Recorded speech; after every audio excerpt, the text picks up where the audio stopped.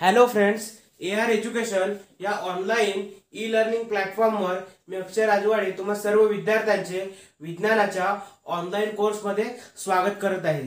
तर आज आपण शून्य कार्य धनकार्य आणि ऋणकार्य हे आपण मागील लेक्चरमध्ये पाहिलेलं होतं. त्यानंतर बदलामुळे जे घडणारं कार्य होतं म्हणजे जे आपल्या दैनंदिन व्यवहारामध्ये विशिष्ट प्रकारचे बदल होत असतात त्या बदलामुळे कार्य कसं घडतं याचं आपण स्पष्टीकरण मागील लेक्चरमध्ये घेतलेलं आहे. तर कार्य ऊर्जा आणि शक्ती या नेक्स्ट लेक्चरचा बरोबर आहे? म्हणजेच काय? की कार्य ऊर्जा आणि शक्ती. बरोबर? कार्य ऊर्जा आणि शक्ती भाग एकच. बघा की भाग एक म्हणजे कार्य ऊर्जा शक्ती याचा भाग एक आपण पाहणार आहोत. भाग एक मध्ये काय? की कार्य ऊर्जा शक्ती याचा आपण पहिला भाग एक जो घेतला होता त्यामध्ये आपण कार्य ऊर्जा आणि शक्ती आपण जे काय करतो की वर्णन करतो. ते वर्णन करण्यासाठी?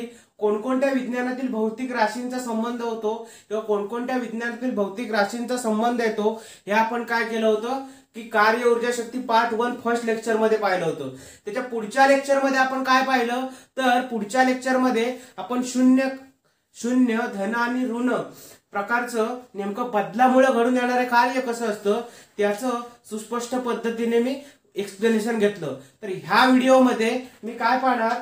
तर ह्या व्हिडिओमध्ये विद्यार्थी मित्र बघा की ऊर्जा म्हणजे काय? बरोबर आहे? बघा की आपण सगळेजणच काय करत असतो? सगळेजणच आपण बघा आज इलेक्ट्रिसिटी आपल्या घरामध्ये आहे. ऊर्जेला आपण आधी मुळात काय म्हणतो? तर एनर्जी बघा ऊर्जेला आपण काय म्हणतो? एनर्जी आता मला सांगा ऊर्जा आपण घरामध्ये सगळेच जण ऊर्जा वापरत असतो. म्हणजे मला सांगा की तुम्हाला एक व्यावहारिक उदाहरण देतो.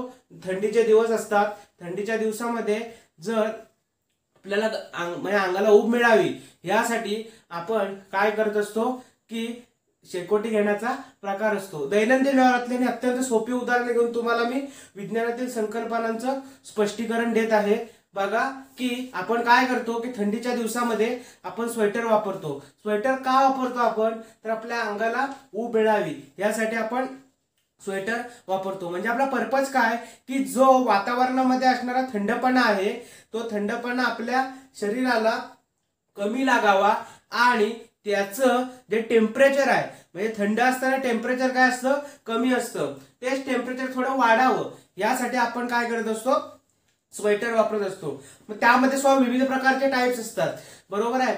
त्यातला आपण स्टँडर्ड म्हणजे स्टँडर्ड किंवा अत्यंत आपल्याला जो चांगला असेल तो आपण यूज करत असतो. जेणेकरून आपल्याला थंडी कमी लागेल आणि त्या जे थंडी कमी लागेल म्हणजे काय? कमी टेम्परेचरचं रूपांतर जास्त टेम्परेचरमध्ये होईल. बघा ऊर्जा म्हणजे काय? तर ऊर्जेला आपण एनर्जी असं म्हणतो. आता ऊर्जेची व्याख्या काय? तर विद्यार्थी मित्र हो ह्या कन्सेप्ट ह्या शालेय जीवनामध्ये सुद्धा झालेल्या असतात. परत म्हणजे म्हणजे ह्या लेक्चर म्हणजे ह्या कोर्सच्या माध्यमातून मी काय सांगत आहे की ह्या हा जो कोर्स आहे हा शालेय विद्यार्थ्यांसाठी सुद्धा उपयुक्त आहे परंतु ह्या ज्या कन्सेप्ट आहेत या कन्सेप्ट शालेय जीवनामध्ये सुद्धा झालेल्या असतात. फक्त ह्या कन्सेप्टचा जो एक असणारा टचअप आहे तो टचअप तुम्हाला मी करून देत आहे. आता कार्य म्हणजे काय? की कार्य म्हणजे ऊर्जा म्हणजे काय? की कार्य करण्याच्या दराला. कार्य करण्याच्या दरास. कार्य करण्याच्या दरास आपण काय म्हणतो? कार्य करण्याच्या दरास ऊर्जा असे म्हणतात. बरोबर आहे? कार्य करण्याच्या दरास ऊर्जा असे म्हणतात. बरोबर आहे? कार्य करण्याच्या दरास ऊर्जा असे म्हणतात. बरोबर आहे? तर मुळात मला सांगा कार्य करण्याच्या दरास आपण काय म्हणतो? What is the reason behind it तर कार्य करण्याच्या दरास आपण काय म्हणतो? ऊर्जा असं म्हणतो. म्हणजे याची जर मी इंग्रजीमध्ये व्याख्या द्यायची म्हटली तर व्याख्या काय होईल?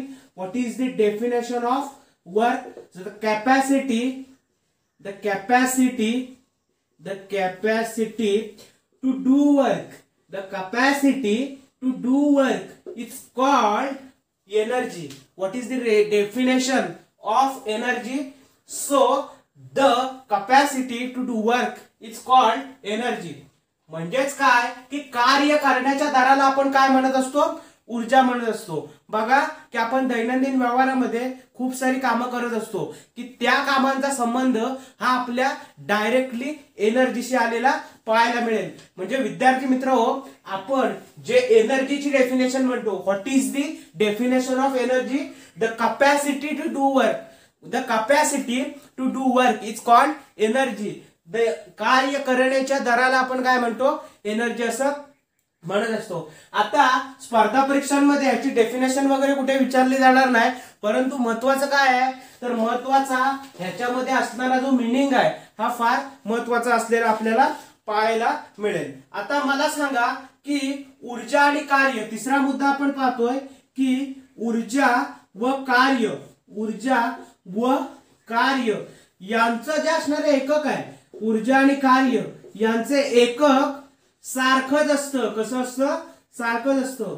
Why the unit of energy and work is the same the reason behind it कार्य करण्याच्या दराला. बघा मी काय म्हणतो की ऊर्जा व कार्य यांचे एकक सारखेच असते. का सारखे असते? विद्यार्थी मित्र सांगा. की याला काहीतरी एक अनन्यसाधारण महत्त्व प्राप्त झालेलं असल्याला आपल्याला पाहायला मिळेल. मला सांगा आपण सुरुवातीला जर व्याख्या केली मी काय म्हटलं होतं? की ऊर्जा. ऊर्जेला मी काय म्हणतो? एनर्जी. एनर्जी म्हणजे काय?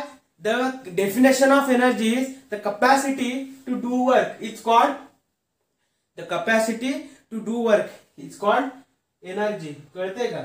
बघा इथे विद्यार्थी मित्र वर्क नाही तर इथे एनर्जी पाहिजे. आपण एनर्जी टॉपिक पाहतोय. बरोबर? एनर्जी म्हणजे काय? तर कपॅसिटी टू डू वर्क बघा की कार्य करण्याच्या दराला आपण काय म्हणतो? ऊर्जा म्हणतो. तुम्ही बघा की कार्य आणि ऊर्जा यांचं एक समान काय असतं? तर मुळात आपली जी व्याख्या आहे ती व्याख्याच काय सांगते? की कार्य करण्याच्या दरालाच आपण काय म्हणतो? ऊर्जा म्हणतो. किती सोपा प्रश्न आहे बघा. जर आपण कार्य करण्याच्या दराला आपण ऊर्जा म्हणत असू तर ऊर्जा आणि कार्य यांचं एकक समान असलंच पाहिजे का? कारण कार्य हे ऊर्जेशी निगडित आहे आणि ऊर्जा ही कार्याशी निगडित आहे. बरोबर? एकमेकांच्या क्षमतेवरती अवलंबून आहे. म्हणजे बघा पहिला मुद्दा आहे कार्य करण्याच्या दरास आपण ऊर्जा असं म्हणतो. Second point the energy means what the capacity to do work then ऊर्जा व कार्य यांचे एकक सारखेच असते. आता नेक्स्ट पॉइंट आहे एस आय जी पद्धत असते. विद्यार्थी मित्र हो, एस आय पद्धत जी आहे तर एस आय पद्धतीमध्ये कार्याचं एकक काय असतं? तर एस आय पद्धतीमध्ये कार्याचं एकक हे जूल असलेलं आपल्याला पाहायला मिळेल. बरोबर? म्हणजे एस आय जी पद्धत आहे ते एस आय पद्धतीमध्ये कार्याचं एकक जूल आहे. आणि सीजीएस ची पद्धत आहे की नाही? सीजीएस पद्धतीमध्ये कार्याचं एकक काय विद्यार्थी मित्र? तर सीजीएस पद्धतीमध्ये कार्याचं एकक अर्ग आहे. बघा या बारीक सारीक ह्या ज्या कन्सेप्ट आहेत ह्याच अत्यंत महत्त्वाच्या असतात. आणि त्या न समजल्यामुळे पुढे जी विज्ञानामध्ये उदाहरणं असतात त्या उदाहरणाचं सॉल्व्हिंग करण्यामध्ये खूप साऱ्या अडचणींना आपल्याला सामोरं गेलेले विद्यार्थी पाहायला मिळतील. म्हणून ह्या कन्सेप्टवर जर तुम्ही फोकसफुली पाहिलं किंवा हा कन्सेप्ट जर तुम्ही फोकसफुली स्टडी केला तर तुम्हाला त्याचा नक्कीच फायदा झालेला पाहायला मिळेल. पुन्हा एकदा मी हे सर्व पॉईंट्स रिपीट करतो आणि नेक्स्ट भाग कव्हर करतो. कार्य करण्याच्या दारास आपण ऊर्जा असं म्हणतो. बरोबर आहे? म्हणजे बघा की तुम्हाला एक दैनंदिन व्यवहारातले उदाहरण एक्सप्लेन करतो. बघा की काही लोकांचा कन्स्ट्रक्शनचा बिझनेस असतो. कन्स्ट्रक्शनच्या बिझनेसमध्ये काय असतं की जे आपलं काय करतात की कन्स्ट्रक्शनच्या बिझनेसमध्ये त्याचा जो फॉर्मॅट असतो म्हणजे एखाद्या भागाचं जर कन्स्ट्रक्शन करायचं असेल तर त्याचा काढणारा जो फॉर्मॅट आहे किंवा त्याचं जे मॅपिंग केलं जातं सिव्हिल इंजिनियरद्वारे तो करणारा माणूस वेगळा असतो. आता सिव्हिल इंजिनियरने सुद्धा काय केलेलं आहे? कार्य केलेलं आहे. परंतु ते त्याचं जे असणारं कार्य आहे ते कसं कार्य आहे? ते बौद्धिक कार्य म्हणेन मी. का? कारण त्याने फक्त काय केलं? की त्याला जसा जसा डेकोरेटिव्ह पार्ट पाहिजे होता तो त्याने काढून घेतला. त्याच्यानंतर अंडर दी प्रोसिजर म्हणजे त्याच्याखाली जी कामं करायला लागणारी माणसं असतील म्हणजे त्याचा बेस बनवायला लागणारी माणसं असतील बरोबर आहे? तर ती जी लोक असतात त्यांचं जास्त काम हे ताकदीशी रिलेटेड येतं. आणि कार्य करण्याच्या दारालाच आपण काय म्हणतो? ऊर्जा म्हणतो. जर त्यांच्याकडे जास्त स्वरूपामध्ये ऊर्जा असेल तर ते चांगल्या पद्धतीने काम काय करू शकतात. बघा की कार्य करण्याच्या दारास आपण ऊर्जा म्हणतो. Energy means what the capacity to do work is called energy then ऊर्जा व कार्य यांचे एकक सारखेच असते. एस आय पद्धती काय असते त्याची?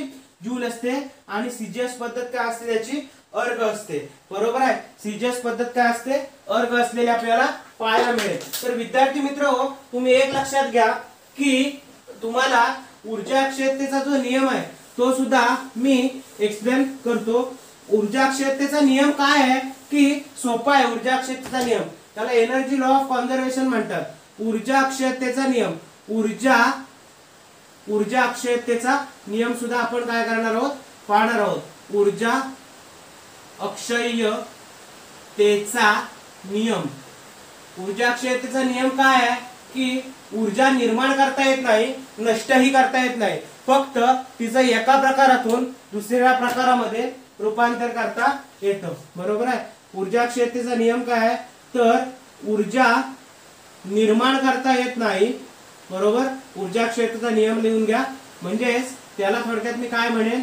तर energy law of energy law of conservation what is the definition of energy law of conservation the energy can neither be created nor be destroyed but total amount of energy of an universe remains constant so what is the definition of energy law of conservation? So ऊर्जा क्षेत्राचा नियम काय सांगतो आपल्याला? तर ऊर्जा निर्माण करता येत नाही. ऊर्जा निर्माण करता येत नाही. नष्टही करता येत नाही. बघा ज्याप्रमाणे ऊर्जा आपल्याला निर्माण करता येत नाही जर एखादी गोष्ट आपल्याला निर्माण करता येत नसेल तर ते आपण ऑब्विसली नष्ट पण नाही करू शकत. ऊर्जा निर्माण करता येत नाही नष्ट करता ऊर्जा निर्माण करता येत नाही नष्टही करता येत नाही नष्टही करता येत नाही. फक्त तिचं एका प्रकारातनं दुसऱ्या प्रकारात रूपांतर होतं. फक्त तिचे एका प्रकारातून एका प्रकारातून एका प्रकारातून दुसऱ्या प्रकारात एका प्रकारातून दुसऱ्या प्रकारात रूपांतर करता येते. एका प्रकारातून दुसऱ्या प्रकारात रूपांतर करता येते. एका प्रकारातून दुसऱ्या प्रकारात रूपांतर करता येते. आता ऊर्जा अक्षरतेचा नियम काय आहे? तर एनर्जी लॉ कॉन्झर्वेशन आता काय सांगितलं मी तुम्हाला? तर ऊर्जा निर्माण करता येत नाही नष्टही करता येत नाही फक्त तिचं एका प्रकारातून दुसऱ्या प्रकारात रूपांतर करता येत. आता तीन मुद्दे तुम्हाला मी महत्त्वाचे सांगतो. सुरुवातीला काय आहे? की ऊर्जा निर्माण करता येत नाही. पहिला मुद्दा आहे त्यातले सब टॉपिक तुम्हाला मी करून देतो. ऊर्जा निर्माण करता येत नाही. आपण एखादीचा ऊर्जा एखादी गोष्ट आपण जर युनिव्हर्समध्ये किंवा विश्वामध्ये निर्माण करू शकत नसू तर आपण नष्ट पण करू शकत नाही. म्हणजे ऊर्जा निर्माण करता येत नाही. म्हणजे ऊर्जा आपण ऊर्जा बघा आपलं सब टॉपिक किंवा ते कसं लक्षात ठेवा तर लक्षात ठेवण्यासाठी काही महत्त्वाच्या ज्या पद्धती आहेत त्या महत्त्वाच्या ज्या पद्धती आहेत त्या महत्त्वाच्या पद्धतींद्वारे आपण काय करू शकतो त्याचं? एक वर्गीकरणात्मक आपण काय करू शकतो? मांडू शकतो. आता मला सांगा की ऊर्जा निर्माण करता येत नाही नष्टही करता येत नाही. आता ऊर्जा काय करू शकत नाही आपण? आपण ऊर्जा ही निर्माण करू शकत नाही. त्याच पद्धतीने आपण नष्ट करू शकत नाही. परंतु आपण ऊर्जेचं एका प्रकारातून दुसऱ्या प्रकारामध्ये मात्र रूपांतर करू शकतो. हे आपल्यासाठी व्हॅलिड आहे. म्हणजे नियम काय आहे? ऊर्जा निर्माण करता येत नाही नष्टही करता येत नाही. फक्त तिचे एका प्रकारातून दुसऱ्या प्रकारामध्ये आपण रूपांतर केलेले पाहायला मिळते. तथापि विश्वातील एकूण ऊर्जा तथापि तथापि विश्वातील तथापि विश्वातील एकूण ऊर्जा तथापि विश्वातील एकूण ऊर्जा सदैव ऊर्जा सदैव अक्षय राहते. सदैव अक्षय राहते. म्हणजे बघा की ऊर्जा निर्माण करता येत नाही नष्ट पण करता येत नाही. तिचे एका प्रकारातून दुसऱ्या प्रकारामध्ये रूपांतर करता येते. एका प्रकारातून दुसऱ्या प्रकारामध्ये रूपांतर करता येते. तथापि विश्वातील एकूण ऊर्जा सदैव अक्षय राहते. विद्यार्थी मित्र हो बघा की ह्या लेक्चरमध्ये तुम्हाला मी ऊर्जा क्षेत्राचा नियम घेतला. अगदी बेसिक जो काय त्याचं स्टेटमेंट आहे ते स्टेटमेंट मी तुम्हाला काय केलं? एक्सप्लेन केलं. तर नेक्स्ट लेक्चरमध्ये ह्याच्या पुढील भाग आपण पाहणार आहोत.